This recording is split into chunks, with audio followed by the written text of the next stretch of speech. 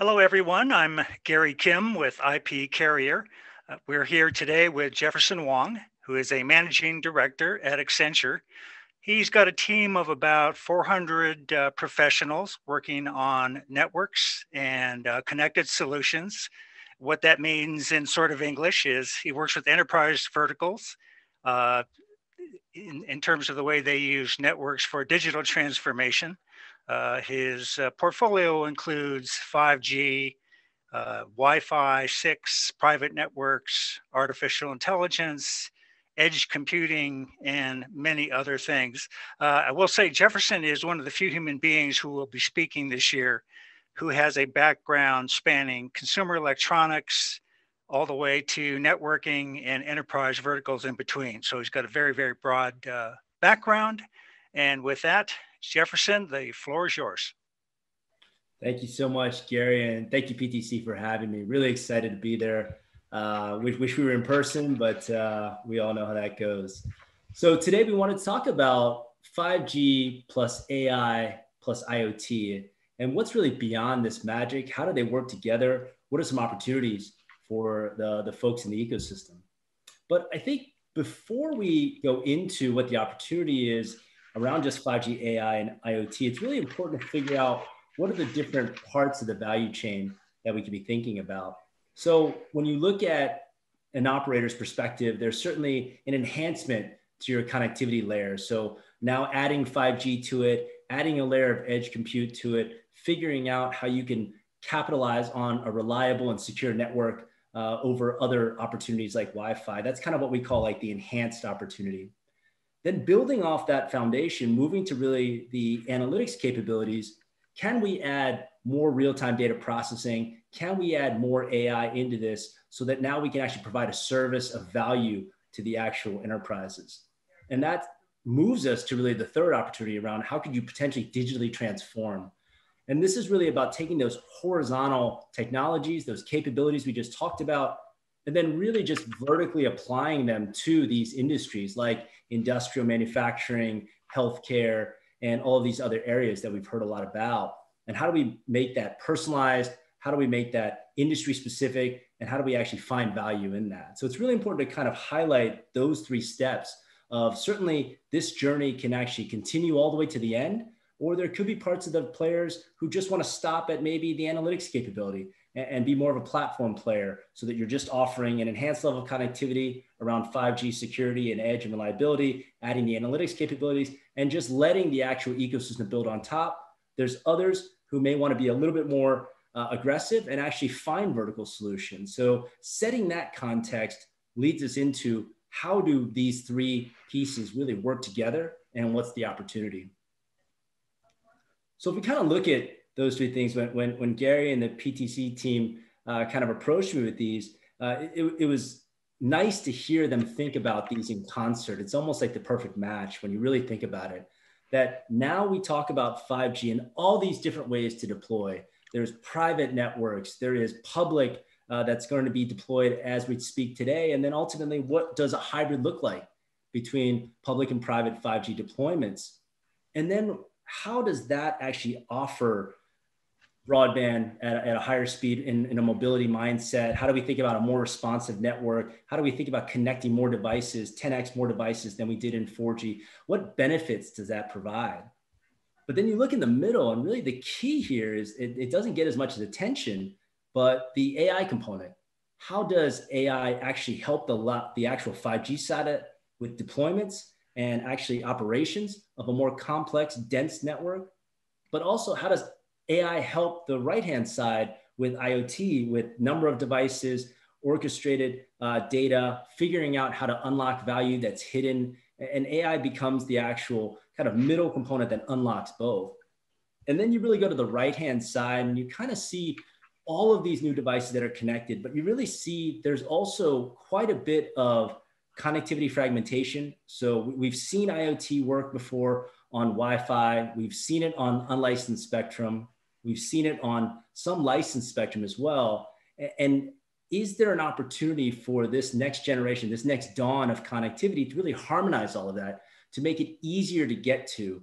Uh, so a lot of times you see Wi-Fi take off early because one, it's very inexpensive. Two, it's very available.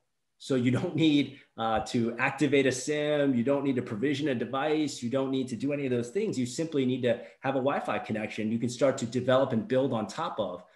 But does 5G provide an opportunity with AI to allow the developers community, the ecosystems to get easier access to this? Can it harmonize IoT so it's a little bit easier to work with, a little bit easier to get access to? And how do we actually find that price point come down so that we can start to get to the very top part of it, which is digital transformation? And that's kind of, we, we call that the multiplier effect on, on both sides. And that's why it was really nice to hear that you know these three would be in concert on, on, on this conversation. They, they really do work together when you think about it. 5G offering a new type of connectivity, AI being able to orchestrate not only the dense networks that are required for high band millimeter wave um, on the 5G side, but also the number of devices, the sheer number of devices, and the sheer number of data coming off of it. How do we extract value out of it?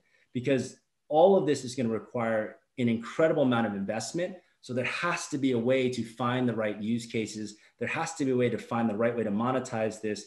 And there has to be a way to actually bring the partners together so that everybody works uh, towards a common goal. So then if we look a little bit about the challenges of 5G, and you know, I've spent about the last five years kind of focused uh, in 5G across the world, but certainly before that, you know, 21 years in, in wireless has taught me a couple things that a, a lot of times the promise of each next generation uh, is a little bit further than the reality. So understanding where each of these challenges are is really important. And again, based on the audience and depends on where you're on the globe, but but these challenges, some may ebb and flow differently. When you look at number one, spectrum availability and deployment, a lot of the challenge now we see is that access to aggregated 5G spectrum isn't always uh, as easy as we think. There's certain countries that want to focus on high band uh, and, and allowing more high band spectrum in the millimeter wave uh, area so that you have a ton of it available. You can go really fast. It just goes short distances. Globally, we seem to be finding sub six as obviously where we're centered and, and focused on. You'll see a lot of the modems, the devices, and the ecosystem really focus a little bit more on sub six.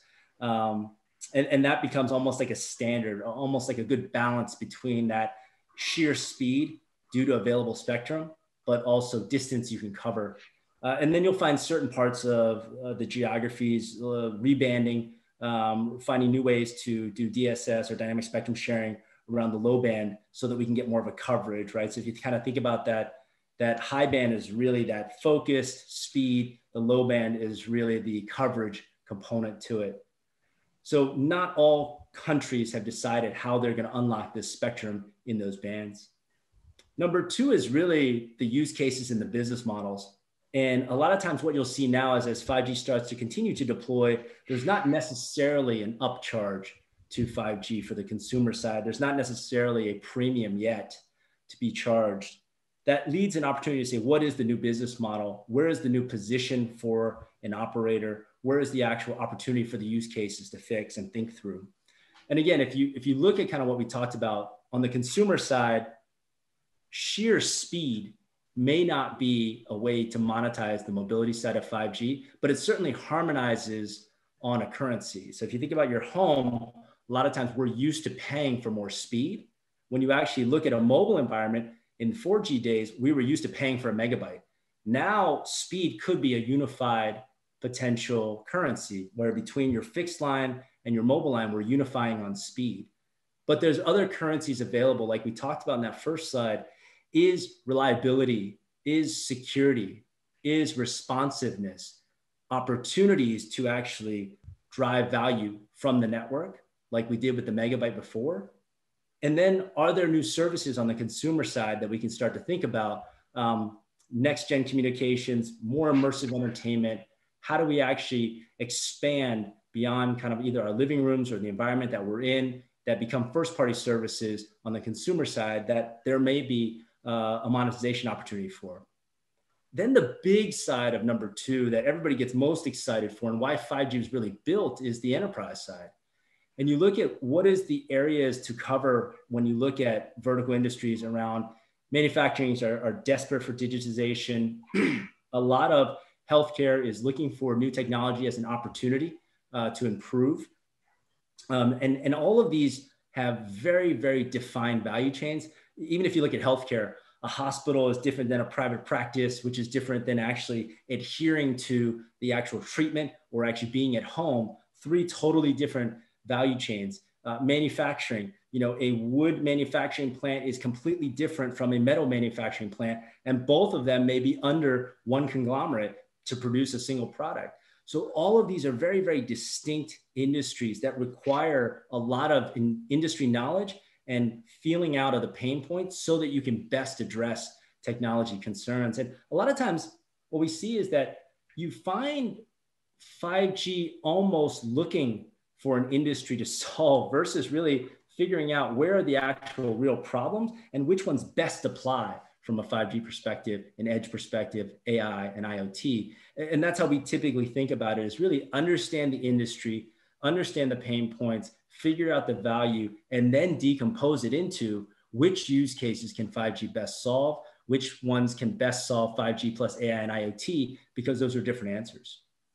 Then in the third one, this really goes to the IoT piece, these device innovations and these technology breakthroughs that we're finding you, will see that obviously more and more devices are actually, we call it an, a decade of divergence, really. And, and if you just trace it back to the 3G world, 3G days, we had a flip phone to talk and text, we had a laptop to do our productivity work, and we had an iPod to listen to music. In the 4G world, we converged down to a rectangular slab that we hold in our hands today. In the 5G world, it's another decade of divergence where we'll take discrete functions out of the smartphone and you'll start to see it's already happening, right? You'll take connectivity, you'll take compute, and you'll take storage into something like a watch. And now all of a sudden, you've broken that out and become a standalone product. We'll find that more and more as compute power gets closer to the data generation source, that's where value lies, whether that's closer to the human body on the consumer side, closer to the machine that's creating the actual uh, data, the vibration, the actual um, noise, or any of those things. That's where the actual value is. Is we get these devices closer to the data generation source and adding the ability to process out noise versus what's valuable, the ability to act on it in near real time. That's where the real excitement comes in when you think about IoT proliferating, harmonized on a 5G network, using AI to be able to actually get through all of that uh, noise and actually finding the value. On the left, number four, if you think through the network technology and deployments, there's still a lot of maturing for 5G to do. So again, when it comes to network slicing, we're still not quite there yet from a, a standalone network, standalone uh, perspective. Um, network density is still an issue, right? Is millimeter wave going to just be for uh, potentially private networks in targeted areas with fixed perimeter or even just uh, certain laser focused areas of the environments? Uh, will sub six be kind of the general layer or the macro layer that covers more of the mobility use cases? Um, how do you get past all the zoning rights, all the deployment challenges, um, all of those things? So again, th there's quite a bit of work to do in, in number four with the network deployments. Number five, when you look at the challenges with architecture and platform innovation, um, the partnerships with the cloud providers is incredibly important. Will it be kind of sole sourced at first with a really push into digital transformation through that? Will there be more multi-cloud integration that's required? What is a clear edge strategy? Is it more than just a real estate play? How do you think through those? And then number six, uh, a lot of operational complexities that we talked about that 4G and 5G is going to coexist for quite some time. All this small cell density requires and almost needs that AI to be able to determine all the operational issues, all the different um, network operation centers issues that you're going to see when you when you densify a network to that extent. Uh, you're going to see that sea of red just multiply in your network operations centers. And how do you deal with that? When we bring in these new deployment models where you're deploying a public network, but you've also got these private networks that are out there. How are you providing that same level of service? How are you actually still providing that SLA? Um, and again, that leads to how do you move to a more business centric um, process. And, and that's also sales motions, that's also support capabilities, that's also how do you actually speak the language uh, of these industries? And that's the real challenge uh, with, with the operational side of things. That it's not just the technology side, it's not something just 5G, AI, and IoT can solve. A lot of these are actually created. Uh, so, how can we actually best address those? So then we walk a little bit into, you know, what are the use cases available? And this is absolutely non-exhaustive, but it's an interesting framework to think through that, that we walk clients through. The first is really what segment are you actually addressing? Is it the consumer that we talked about? Is it SMBs that make up a majority of the enterprise space? Um, or is it the, the actual enterprise verticals? Um, or is it the government? Or is it the actual enterprise side of things, the, the industrial side of things, like oil and gas and utilities? Those each require potentially different network deployments. They may require different devices and sensors and IoT. They may require a whole different level of analytics, uh, dependent upon which customer segment we're talking about. And then actually just simply taking the advantages of 5G and layering them across certain use cases. Again, again, non-exhaustive, but you know, we have an entire use case catalog that goes through this. But when you look at starting from left to right, what's easier to deploy versus what's harder to actually implement when you think through it, certainly enhancing connectivity, finding a new way to connect like a fixed wireless solution um, in the enhanced mobile broadband becomes a little bit easier before you get to higher resolution because that requires a change in that value chain. Uh, higher resolution video may require different cameras, may require different processing, different encoding. That's a different value chain that you have to fix versus uh, a fixed wireless solution is simply just the backhaul, simply just the connection. We can just change that, make that fa- faster, more reliable, more personalized. Uh, but when you actually get into value chain changes like higher resolution video, immersive entertainment, those require those value chains that need to actually adopt, which means more ecosystems uh, before you get to even kind of next gen communications, next gen social, um, and those pieces. So that's kind of on the the way to think about the use cases available, how they actually go from crawl, walk, run, and then how you have to think about partnerships from can you do this yourself to I need a good solid partner to I need an entire ecosystem to deliver this. And each of those requires a question around what part of the value chain do you want to play in in those different versions. Then we talk about more responsive, more ultra low latency scenarios and use cases. What are the ones that really take advantage of 5G plus edge plus AI and IoT? Um, extended reality becomes a really interesting use case. we'll start to see, we've had a lot of actually false starts uh, with VR dating back to the 90s. But again, separating out extended reality into certain categories to figure out when's the best time to use virtual reality versus when's the best time to use augmented reality and actually what's the best way to deliver that. So for example a, lot of work that we've been working with on clients is if it's a training environment it may be better to do that in a virtual scenario. So instead of doing a computer-based training you actually put them in a virtual environment and you actually immerse yourself deeper into the learning and you actually pick this up quicker. But then when you get out into the field and it becomes more of a on the job training, remember what the training was, that may be the right time to move to more of an augmented reality, an overlaid scenario to actually assist you, but not put you in a virtual environment. So the, the, the depth of each client understanding when's the right time to use which technology and how does it take advantage of 5G, AI, IoT differently uh, is incredibly important. Um, the reason extended reality is interesting is again, uh, motion sickness for virtual reality. The alignment on augmented reality requires a very responsive network. Uh, but again, the key is how do you actually apply that to business value? When we go to more autonomous vehicles, I think there's a lot of discussion, plus robotics and automation. Um, these require a little bit more of a challenge because, for example, full autonomous, state and local versus federal is very different uh, when, you, when you work through policy, that again, we, we put it a little bit later on um, because you have to think through the safety, uh, federal versus state and those things. When you get to pure massive IoT, you know, sensor is, is certainly where uh, a lot of the priority is right now, working through uh, the actual types of sensors. And what's interesting is what we see is a lot of sensors aren't all created equal. There's a lot of times you go into an environment where you need a a category one div, div 2 type of sensor where even a small spark in the environment could cause an explosion. So how do you actually work with the actual device manufacturers, the ecosystem providers to say, hey, I need this type of shielding, I need this type of a sensor.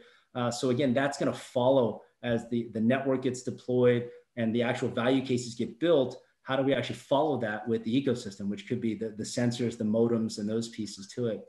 But once we can get massive sensors out into play, how do we actually think more about these spaces becoming smart spaces, smart districts, smart cities? And again, we use the word spaces because it could start to is just a smart building. It could go to a smart campus. It could expand to a smart district and ultimately kind of in expand into at the end a, a smart city. So those sensors need to actually work with kind of the actual space. The space needs to actually find the use cases to actually generate value off of. Um, and then we can talk a little bit more about kind of non, non line of sight drones as a massive IoT use case. Um, line of sight right now is already being done. Obviously, there's no issue with um, uh, Internet of the Sky when it comes to this, but is there an opportunity for a non line of sight? Does that take more policy to get past? There's other parts of the world that I've been to that just have a no drone policy in certain cities. Uh, so again, as policy creeps its way in, uh, those become uh, a little bit more complex to work through. And then finally, just a, at the bottom, the deployment scenarios are, are really important to think through. That if this is in a building, right now it's difficult to get millimeter wave inside of a building. What do those propagation um, characteristics look like versus a, a, venue versus a wide open space where you've got line of sight? So that's kind of the third layer of, of thinking through this.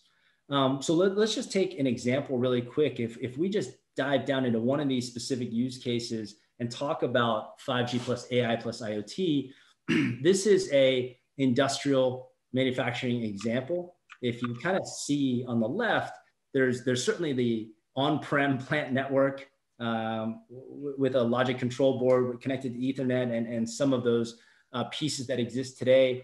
And then you look through and you see, you know, a lot of that actually already has network ready machines. And it doesn't make sense to rip and replace that just yet. There is also the plant floor gateway, which, which could be on Wi-Fi, which could be on other technology, unlicensed spectrum that has lower cost vibration sensors, uh, cameras attached to it. Uh, you'll hear a lot about CBRS uh, in the US, but uh, for our folks that aren't in the US, as, as spectrum sharing becomes more open and, and, bands become open, what is the opportunity for uh, operators to work with or also have other players enter the value chain? Um, but there's the right hand side, which is really just pure wireless. Is there an opportunity to have connected workers, wireless sensors work on just a wireless edge gateway? And you may ask, what's the what's the reason behind that? And there's a lot of different complexities to this. But if you think about connected worker being really sensitive information that you don't want to go to the public internet, that you don't want on a non-secure network, that really should go through maybe a private network 5G, AI, IoT scenarios where you can really keep that worker's information on prem. You could break the traffic out from not going to the public cloud or public internet. You could actually process things in real time. Like if a worker is actually not wearing the correct protective gear, where they don't have their hard hat on, their goggles, and their vest on, the actual machinery and equipment won't start. And then finally, if they're getting too close to actually other workers because uh, of, of, social distancing, or because they're getting very close to machinery without seeing some piece of clothing that's hanging off could get sucked up into the machine. How do we, in real time or near real time, stop those things or, warn them? Uh, so, just an example of how 5G plus AI plus IoT can work together. Um, so excited for everybody to have a wonderful PTC show and uh, hope to see you guys all next year. Thank you guys so much for having me. Thank you, Jefferson. And thanks for joining us at PTC 21.